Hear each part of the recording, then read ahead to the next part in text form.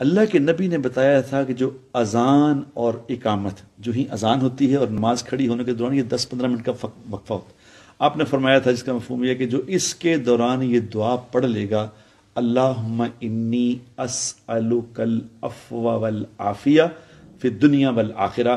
जो तीन दफ़ा इस दुआ को पढ़ लेगा अजान और अकामत के दरमियान, इसको चार अल्लाह इनाम देंगे। पहला इनाम इसको ये मिलेगा कि अल्लाह तबारक व इसे ऐसी बीमारी नहीं लगने देगा जिस जिस बीमारी की वजह से मौत आ जाए। नंबर दो, अल्लाह तबारक व इसको तन्हाई के गुनाह से बचाएँगे। क्योंकि गुनाह सारे करते हैं तन्हाई में है। अल्लाह तन्हाई में इसकी हिफाजत फरमाएँगे। और नंबर तीन, अल्लाह दुनिया के जालिम लोगों से इसका वास्ता ही नहीं पड़ेगा। जालिमों को इससे दूर ही रखेंगे। और नंबर चार, जो हमारा सबसे बड़ा प्रॉब्लम है, वो अल्लाह तबारक व ताली इसको बग़ैर मेहनत के आसान रोज़ी अता